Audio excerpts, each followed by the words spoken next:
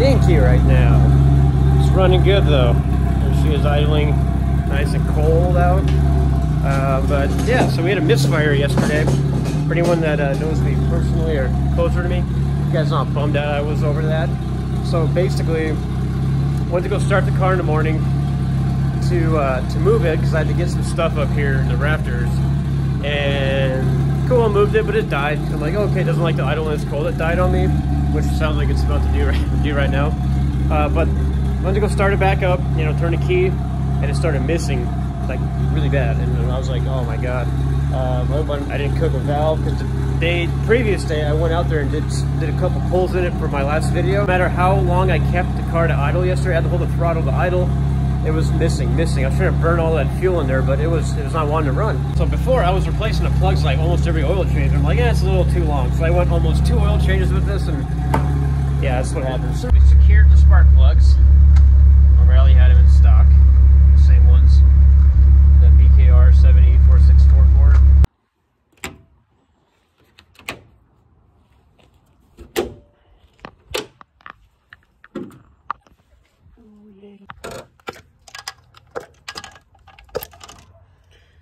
Watch the wrist on this one.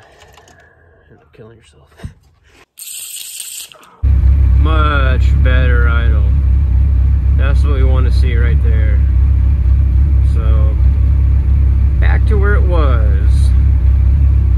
Yep, maintenance is important. These race cars. So here are the plugs. You can see they're like, all of them are carbon foul. Freaking dark. They're also made of a nickel. Uh, they're nickel. They're not even platinum, so they have like a half-life. And with this car, how rich it runs when it's cold. Yeah, I mean, these plugs are, yeah, they don't last long. That's why I like to keep my car revving kind of high when it's cold. I don't like to let it sit low. I kind of hold the throttle for a little bit, kind of burn all that fuel up, let it warm up. Gap them properly. They're back in the car. Car runs good. And I'm kind of happy. I'm going to go drive it. So we're going to go in and uh, mess with the boost by gear settings. I'll show you guys how I, you know, adjust it, how I do it. Wait for his laptop, his dinosaur laptop to boot up. Don't tell me the battery's dead. Oh, suck, man. Oh, the tree looks nice. Ah! People love the because it stands for. It's old. Just waiting for it to boot up. So we can go tune some boost. Crash his face. Woohoo!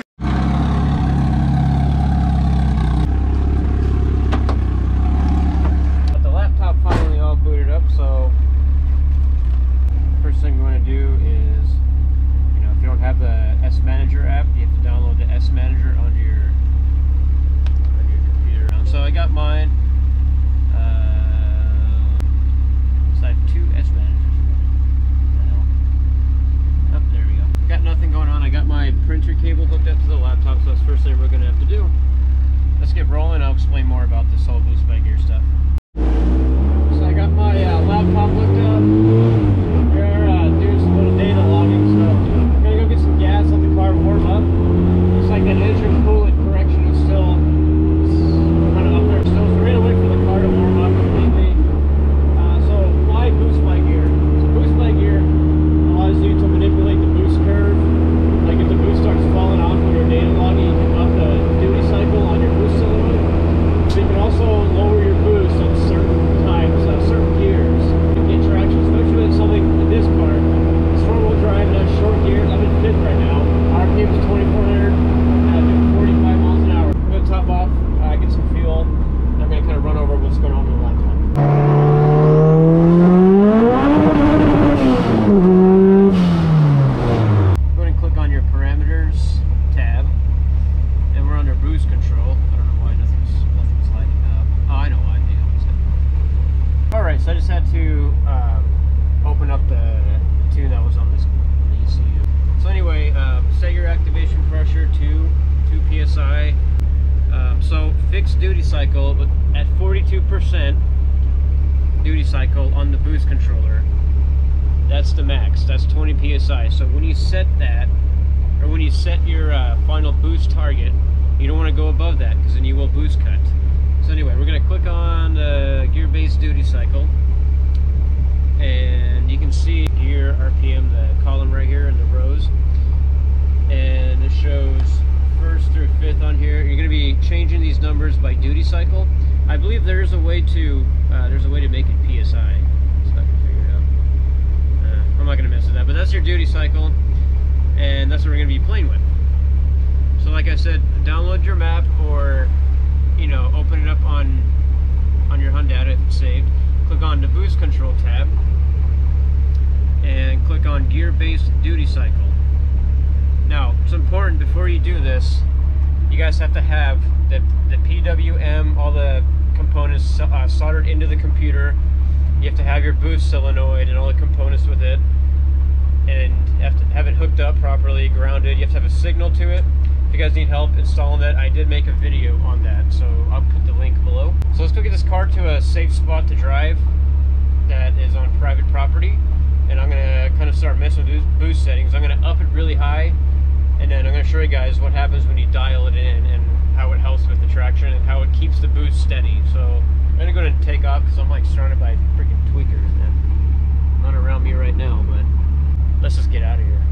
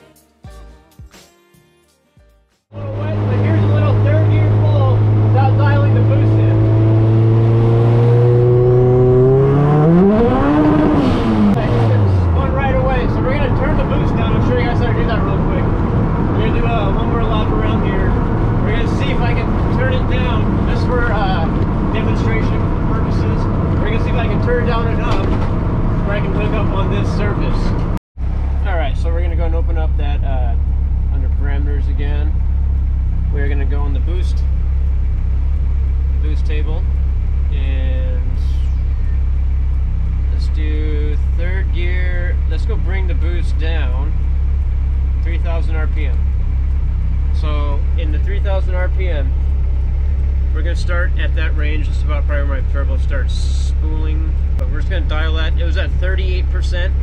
Let's try something low. Let's do 25 percent. 25 percent there. 25% here.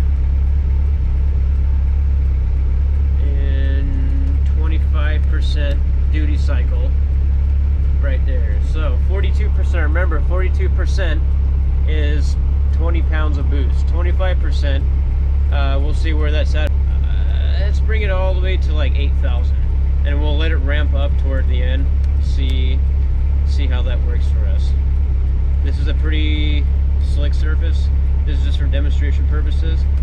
We're to do that. Um, that's all good to go. Scroll back up. We're good to go on that. We have 25% duty cycle in third gear. We didn't touch second. First and second are down to as low as it will allow me. So we're not able to really play around with that too much. Thing to add, guys, so what could be important is clicking on the gear comp gear comp. Um, know what transmission you're working with. So we're going to select ratios and you can go in and click on uh, one of the Honda listed transmissions. In my case, I'm putting the Civic SIR Type R. So we're going to click on that one. We're going to click OK. Alright, boost control. We got our 25% duty cycle set activation percent or activation pressure 2 and let's go upload click upload every time you make changes click upload uploading uploading and boom we're uploaded let's see if I brought the boost down I believe I was at like 13 pounds of 13 pounds or I think 13 pounds maybe 13 maybe 15 it was 13 psi in third originally now let's go do another pull after bringing the boost down Let's try not to get in trouble either. This is private property, guys. Don't do this without permission. Thing we're gonna do different. We're gonna actually data log this pull and um, it will show on the data log. I'll pull it up onto the camera for you guys as soon as we get a data log. I'll show you guys a little quick how to read it, real, you know, just a little quick demonstration, and uh, we'll see on my peak boost. So let's do it. Let's get to it. I'm on private property. Don't try this at home, unless you live in Mexico, I guess. Unless you have like a road in your on your uh, on your land. Next, shuttle back up into someone. We're gonna see if I brought that boost down. Alright. Click record. I'll show you guys where that's at in a minute. Click record.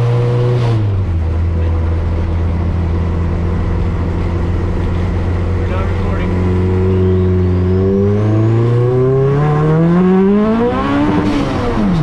See the difference? We actually hooked. On that pole, you noticed that it was felt a little laggy, but we didn't spin. We actually probably pulled a duty cycle up in a lower RPM, so we can build boost. It will build boost a maybe. Or now at this point, we could probably mess with the quick spool setting, but we're not gonna do that in this video. So let me pull over one more, one more time. Uh, I don't know what's behind me. But we're gonna pull over one more time, and we're gonna stop Shit, I just stopped the damn. Alright. That was a 40 second data log. Alright. Let's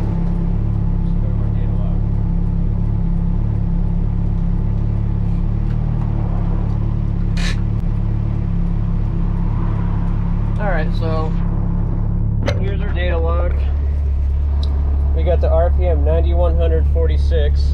Looks like we peaked at 9 pounds. So before it was 13, now we're at 9 pounds. 90, 95 miles an hour. We were spinning, so I highly doubt we're not going 95 back there, I swear, officer. Third gear, there's no shifting going on.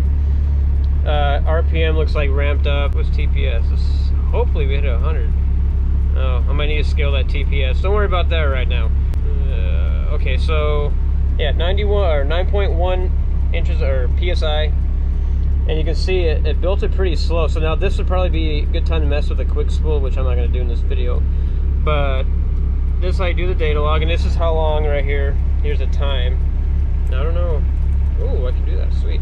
So we can just go all the way to the end of the recording. This is just me cruising to the stop. Ah, you had pink lettering. Cool guy, BMW.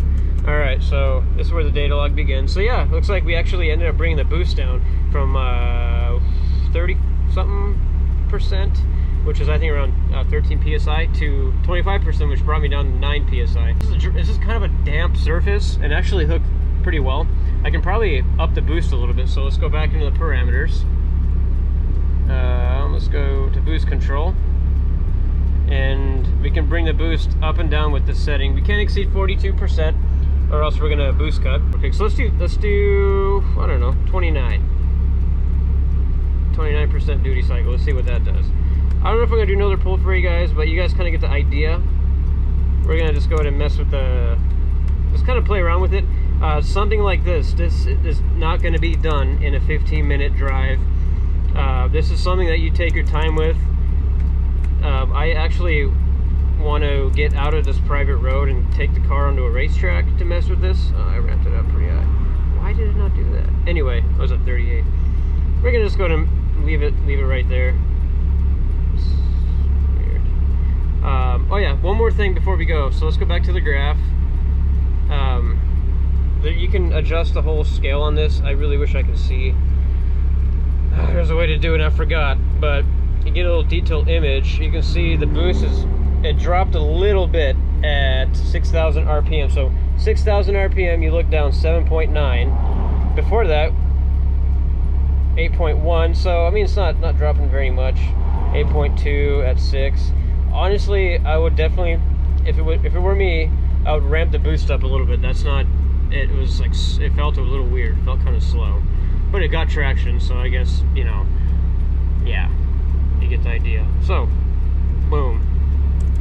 Uh, let's do 29, 29%. I'm just gonna go 29 across the board. Maybe do one more pull for you guys.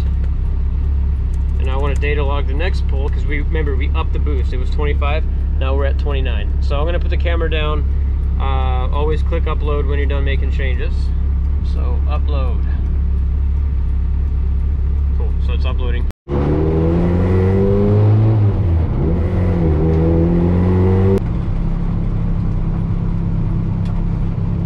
got a data log this cool. I gotta remember to shut the data log off. I don't want another 46 second data log. Go crazy. Alright.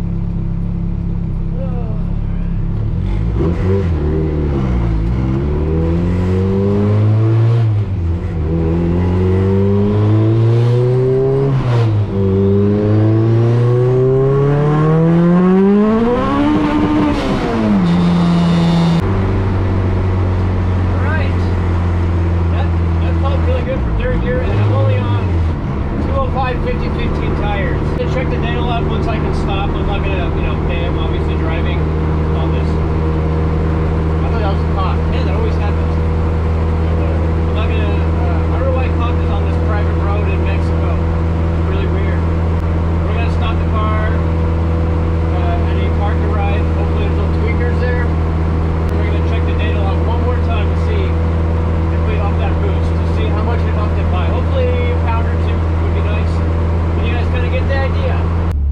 So here's what I mean. So we started at about a pound of boost, whatever, you know, no big deal. You can see we got to nine pounds.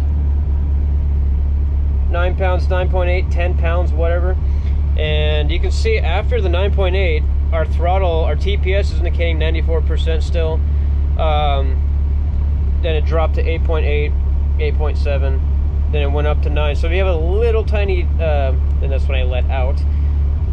Uh, we had a little tiny variance in the, looks like it dropped about a pound, pound and a half of boost. So you can read at the top end, we can actually up the duty cycle. So meaning we'll go back to parameters, uh, around 8 maybe we can do instead 29% duty cycle. So we'll go to 29% at 8000 rpm and maybe we'll do uh, we'll up the value because we had a, we saw a slight drop in boost. Let's do 31% duty cycle. How about that? And we're not going to do any more pulls today.